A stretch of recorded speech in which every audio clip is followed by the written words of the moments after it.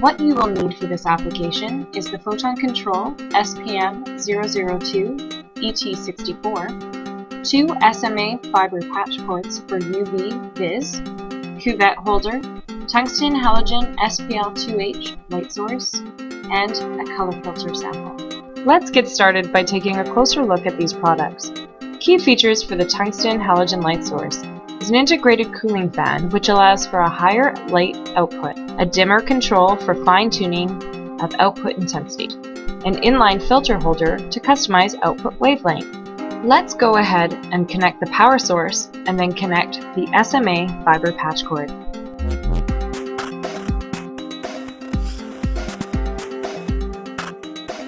Here we have the four-way cuvette holder, which collects UV, Vis, NIR, light.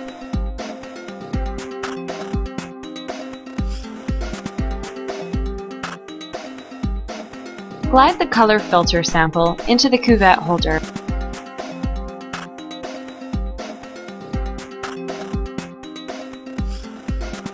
And simply connect your fiber.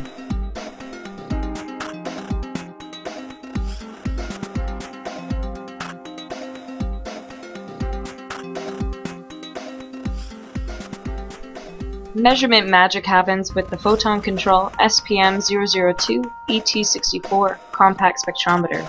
Its key features are a spectral range of 200 to 1090 nanometers, a high resolution and sensitivity with 2048 by 64 pixels, a USB 2.0 high-speed connector interface, a 16-bit AD resolution, and boasts anti-blooming benefits used to distinguish emission lines with large differences in power levels.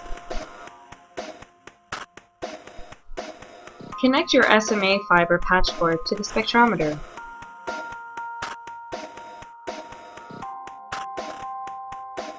Then finally connect the spectrometer to your computer through the USB 2.0 high-speed connection. I'll pass it over to Nick for the complete color filter absorption analysis. Hi, this is Nick, the sales coordinator for Photon Control Inc., and I'm here to show you some of the new features of SpecSoft Pro 4.0. At first glance, you'll notice we've cleaned up our user interface quite a bit. We've made it simpler than ever to capture a dark spectrum, a reference spectrum, collect data points, and interact with the graph. Open the Configuration tab now. You'll see we've got options for triggering controls, spectrometer controls, such as enabling automatic dark subtraction,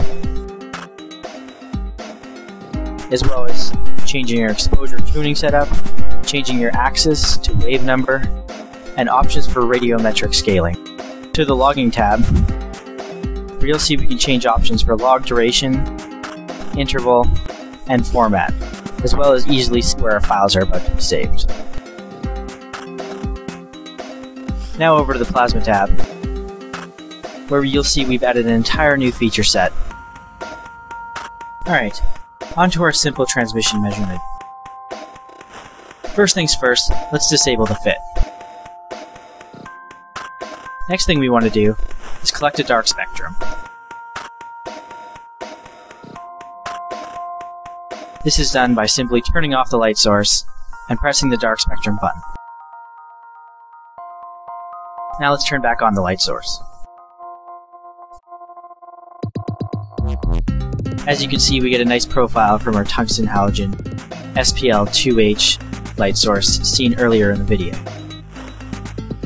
Now let's store a reference spectrum. Great.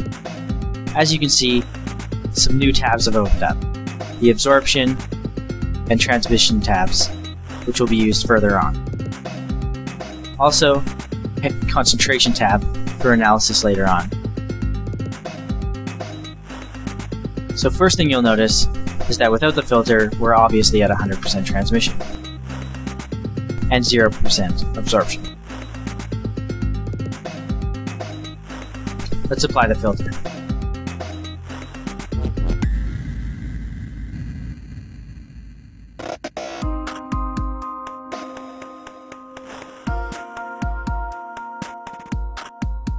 Right off the bat, you can see that a lot of the visible spectrum has been absorbed, leaving nothing but the red part. This is also confirmed by selecting Absorbance tab. You'll see that between 350 and about 575 nanometers,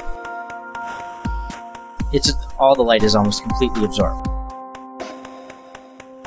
Clicking on the transmission tab, you'll see that there's quite a sharp artifact here, allowing nothing below that 575 mark and allowing almost everything past that. And that wraps up our brief demo. Thank you for watching. Need more detailed specifications about photon control spectroscopy products? Download our free datasheets online.